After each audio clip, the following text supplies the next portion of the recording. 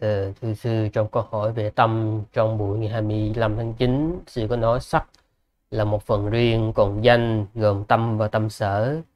Trong đó tâm sở gồm thọ tưởng hành thức còn tâm lại là một phần khác. Như vậy có phải tâm nằm ngoài năm uẩn sắc thọ tưởng hành thức không sư?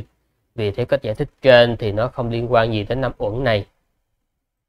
Quý vị không hiểu cái cái sư nói uh, nó giống như sư nói nó giống như một cái ly nước chanh đi. Thì nó phải bao gồm cái gì? Cái ly nước chanh đường muối đá. Cái ly thì sư ví như là cái sắc pháp. Ừ, cái sắc còn cái nước á, sư ví như nó là cái tâm còn cái chanh rồi cái đường rồi cái muối rồi ờ, đá thì sư gọi nó là cái tâm sở. Quý vị không thể nào tách riêng một phần ở trong đó ra mà nó vẫn còn là ly nước chanh được. Không thể tách riêng ra cái ly riêng rồi cái nước riêng. Tách ra như vậy nó không thể tồn tại được. Hoặc quý vị tách riêng cái nước ra nước ra rồi cái chanh rồi cái đường cái muối nó, nó ra cái gì? Hả? Một cái ly nước chanh thì nó phải những cái thứ đó nó kết hợp với nhau. À, thành thử tâm và tâm sở chia chia ra thì nó là những cái phần riêng biệt. Nhưng mà thực tế không có ai có khả năng chia nó ra như vậy hết. À, mà nó là một cái tập hợp. Nhớ dùm nhé tâm và tâm sở là một tập hợp. Mà nếu như nó Ừ, tách nó ra thì nó không thể tồn tại được. Không có sự tồn tại riêng biệt của nó. Tâm và tâm sở nó phải có mặt đồng thời. Ha, tâm và tâm sở nó phải đồng sanh. Ha, nó phải có mặt đồng thời.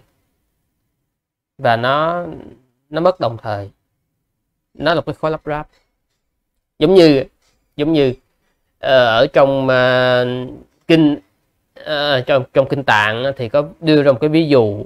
Ví dụ như là một cái bánh thì nó bao gồm là bột bột rồi ờ, đường rồi ờ, muối rồi một nhiều cái gia vị. Khi quý vị nếm một cái bánh nha, khi quý vị nếm một cái bánh chúng ta biết được chúng ta biết được đây là vị ngọt đây là vị mặn đây là vị chua đây là bột. Nhưng mà chúng ta không thể nào tách riêng từ một cái bánh từ một cái bánh nó đã thành hình rồi đó mà mình lại đi tách riêng.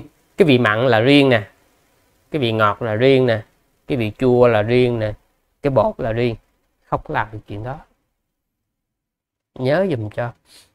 À, thành thử tại sao mà Atidam á Atidam à, không có ờ, được Đức Thế Tôn à, dạy à, phổ biến đó là bởi vì ờ, nó không có không có đơn giản, nó không có đơn giản. Ừ. hoặc ừ, nói một cách ờ, mà để cho quý vị ờ, dễ hiểu đó là gì? Tâm tâm sở và sắc pháp, nó là một khối lắp ráp. Nhưng mà nếu như mà mình tách nó riêng ra thì nó sẽ tan vỡ, nó không còn tồn tại được nữa sở dĩ nó nó tồn tại được á, là nhờ nó lắp ráp lại với nhau. Nó là một cái khối lắp ráp. Nó là một khối lắp ráp. Ha. chia sẻ thì mình biết là nó gồm những cái phần này. Nhưng mà nó không thể tồn tại nếu mà mình tách rời nó ra được nha. Cho nên uh, khi mà nói là thọ tưởng hành thức ừ, khi nói thọ tưởng hành thức thì chúng ta phải biết mặc nhiên mặc nhiên trong kinh tạng mặc nhiên trong kinh tạng, khi nói về thọ tưởng hành thức thì chúng ta phải biết rằng nó là cái tâm.